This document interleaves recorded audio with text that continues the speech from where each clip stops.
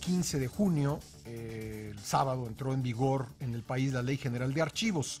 Con esta ley se busca garantizar su organización, conservación y preservación con la finalidad de respetar el derecho a la verdad y el acceso a la información, así como fomentar el conocimiento y resguardo del patrimonio documental de la nación. Para reconocer la importancia de los archivos, el INAI, el Instituto Nacional de Acceso a la Información y Protección de Datos Personales, celebrará hoy y mañana el foro Ley General de Archivos, Armonización e Implementación. Esto será en el Archivo General de la Nación, en el ex Palacio de Lecumberri, a partir de las 10 eh, de la mañana. Me acompaña en la línea telefónica el comisionado presidente del INAI, Francisco Javier Acuña Llamas. Paco, ¿cómo estás? Buenos días, un gusto saludarte. Pascal, Pascal muchas gracias por permitirme llegar como a tu auditorio. Te agradezco muchísimo. Ya estamos aquí en el Palacio Negro. Sí, sí, es a las 10, ¿verdad? Y por eso te agradezco más aún que me tomes la llamada. No, por favor, y a punto de iniciar es un acontecimiento porque esto debió haber ocurrido desde los albores de la democracia mexicana. No puede haber una democracia sin archivos veraces o confiables, pues, porque ahí debe quedar registro de cuanto pase, lo bueno, lo malo, lo que debió pasar, lo que no debió pasar. Sí. Y solo así habrá una sociedad que pueda tener la capacidad de ser crítica y de ser vigilante y auditora de la gestión pública. Pues de otra manera, siempre pues al margen eh, de la expectativa de que el gobierno nos confíe o nos regale, nos platique cuando quiere cuando cuando le conviene eh, cierto tipo de información sí. para que el huerto informativo de una democracia esté eh, al alcance de la sociedad, pues se requiere que haya archivos. Los archivos es ahí son ese conjunto de sistemas donde se aloja, se guarda, se resguarda la información. Y el INAI es en esta historia un, un vigilante y un ayudante, un coadyuvante fundamental del Archivo General de la Nación, para que a nivel de todas las administraciones públicas, todas, las federal, las estatales, las municipales, en todos los ámbitos de la gestión pública haya confiables testimonios, registros de lo que hubo, lo que pasa y de lo que pasó. A ver, eh, dame tu opinión sobre algo. A ver, el INAI eh, pues debe su existencia a la aprobación de la ley de transparencia ahí a principios del, Sí. de este siglo.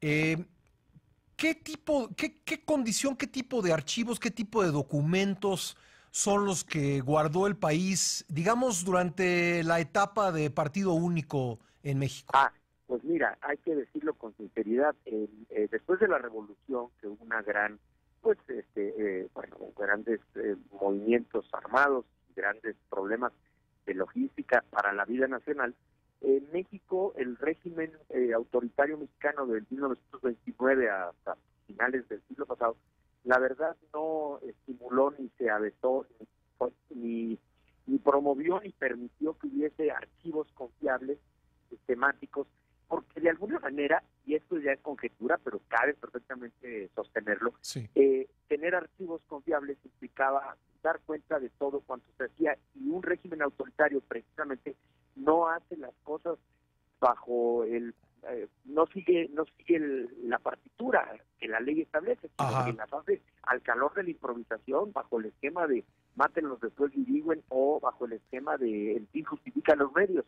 Y eso es normal en los regímenes autoritarios no dejan mm, eh, elementos para que sean juzgados aquellos que hicieron tales o cuales cosas, máximo cuando son crímenes o cuando son simple y sencillamente toda clase de salidas al vapor para resolver situaciones de improvisación. Y por supuesto en medio de situaciones que pueden ser de corrupción. Entonces, de esta manera no tenemos una cultura pro archivos los mexicanos. En nuestras casas, nuestros hogares deberíamos de tener un archivo de la casa, Sí. eh, un verdadero archivo no lo hacemos. Somos muy desorganizados en ese sentido los mexicanos, los latinos. ¿eh? Oye, Pero a ver, pero dime una cosa, eh, a- eh, aún así se guardaron papeles y, esos claro. papeles algo dicen. Claro.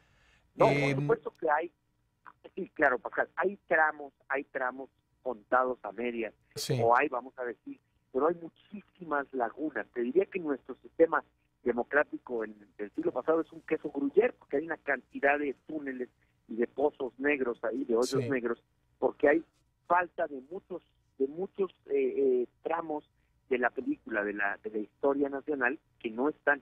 aquí en el Archivo General de la Nación llega lo, lo que es histórico, lo que tiene una vocación histórica, pero tú sabes que la, la cantidad de la información pública, solamente una parte muy pequeña podría tener vocación histórica. La otra es, perdón. no, no, dime, quería preguntarle, ¿qué tan fiable es, digamos, ya me dices, hay lagunas, o sea, hay partes no contadas, pero de lo contado...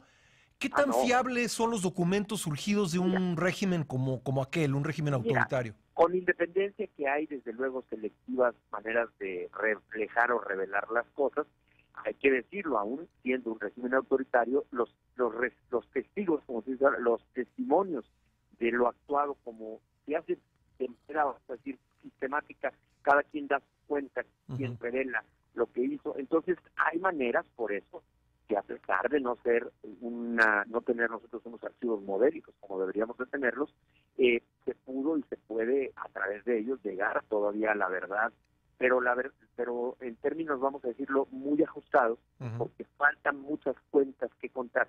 Por eso hay tanta impunidad, porque no hay testimonios concretos o evidentes eh, eh, de todas las partes de la, de la responsabilidad que podría seguirse o fincarse, y no solamente en un afán justiciero, ¿eh? sino en el afán de saber efectivamente qué pasó. Hay muchos enigmas.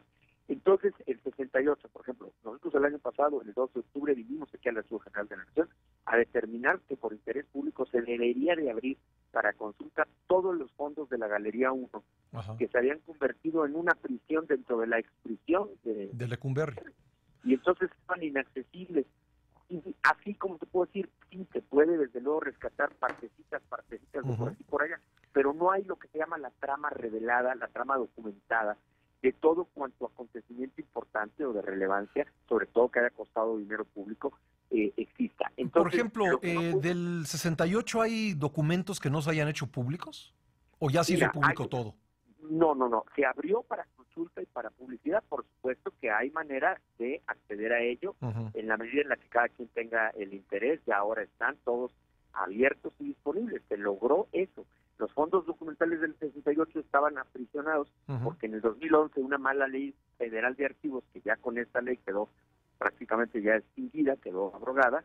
Ahora esta nueva ley ya la supera. Eh, pusieron ahí una cortapisa que era un absurdo, que era eh, que había eh, archivos confidenciales históricos y esto hizo que de un día para otro todos los investigadores, los grandes eh, eh, archivistas e investigadores investigadores del México, del México bárbaro, del México bruto, del México histórico, de un día para otro llegaron ya les ya no puede ya no puede acceder a esta información. Oiga, pero si tuve los expedientes apenas antes, pues ya la nueva ley puso una restricción y usted ya no puede revisar libremente porque hay una cantidad de datos personales sensibles del, viejo, eh, del, de quienes hayan estado involucrados en estas tramas y por supuesto no se puede. Eso generó una enorme irritación y este archivo general que era visitadísimo por un más de un centenar de, investigadores permanentes llegó a bajar al nivel de 4 o 5, lo cual pues vino a pesar mucho en la conciencia crítica y los legisladores por fin se decidieron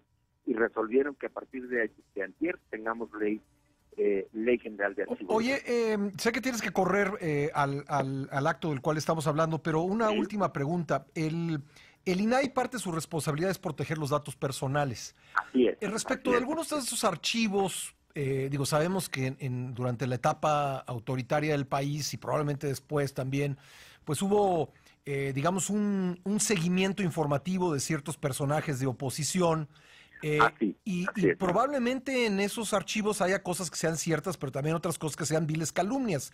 ¿Cómo, ah, distinguir en la apertura de archivos eh, respecto de información que pudiese, pues, digamos, con mentiras o con medias verdades, pues manchar la, la, la, fama de alguien que todavía está La honra y la reputación.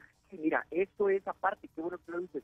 Ahí están los fondos del CISEN. El presidente de la República, López Obrador, dispuso que se abran y vamos a trabajar juntos con, el, con la Secretaría de Gobernación y en el contexto de la nueva Ley General de Activos que apenas entró, eh, será mejor, eh, precisamente hacer las versiones públicas para proteger efectivamente aspectos. Por ejemplo, si Pascal Beltrán era seguido y perseguido en términos, bueno, de que hubiera bitácora sobre él, que puede ser como periodista investigador, no, lo, no lo descartemos.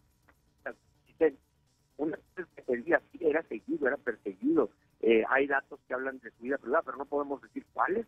¿no? Porque pueden ser algunos ciertos, otros pueden ser mentiras, pero efectivamente puede haber fotografías, puede haber una serie de elementos sobre el seguimiento sistemático que se hacía a los activistas, sobre todo a los opositores del régimen, pero también a los leales. ¿eh?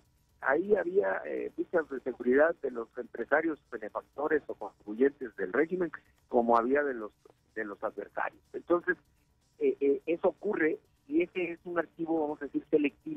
personalidades públicas de relevancia, pues por ser medios de comunicación, por ser eh, reconocidos hasta pintores y escritores, de todo. Entonces, ese, ese, ese tema lo estamos trabajando con una metodología que apenas estamos por diseñar junto con el AGN, Secretaría de Gobernación y nosotros en el INAI, para que en su momento sí se pueda colocar a conocimiento, pero vuelvo a decir, con presión pública para resguardar precisamente ángulos que puedan venir a perjudicar honra eh, eh, derecho a la buena fama, prestigio, reputación de, de Pues Paco, eh, te agradezco mucho, te agradezco mucho estos minutos. sé que tienes que estar presente en este acto que comienza. Estoy más contento que, que me hayas hecho el favor de pasar aire con, contigo directamente. Así que nos vamos contentos y vamos a inaugurar este evento importante y gracias por dedicarle tiempo también a todo el auditorio de, de tu programa. Muchas gracias. Te lo agradezco, eh, Paco.